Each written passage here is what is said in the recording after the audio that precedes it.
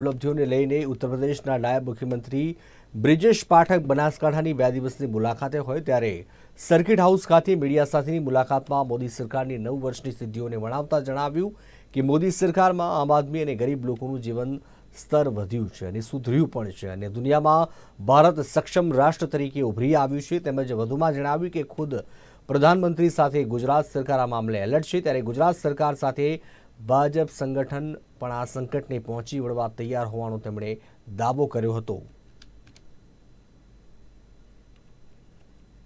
पूर्ण हो चुके हैं सेवा सुशासन और गरीब कल्याण के इन नौ वर्षों में आम आदमी गरीब आदमी के जीवन स्तर में बदलाव लाने में उसको ऊंचा उठाने में माननीय मोदी जी कामयाब हुए हैं इसके अलावा देश दुनिया के पैमाने पर भारत की छवि एक मज़बूत राष्ट्र के रूप में उभरी है।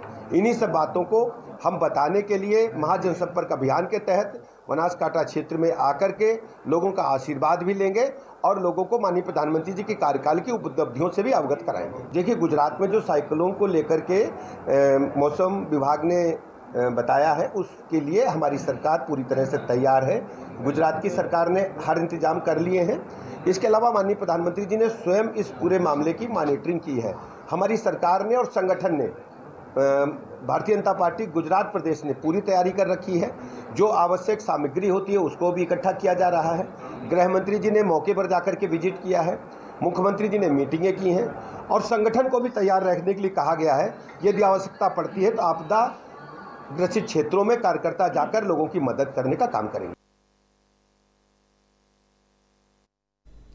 હાલ જ્યારે ભાવનગર જિલ્લાના પ્રભારી મંત્રી ભાનુબેન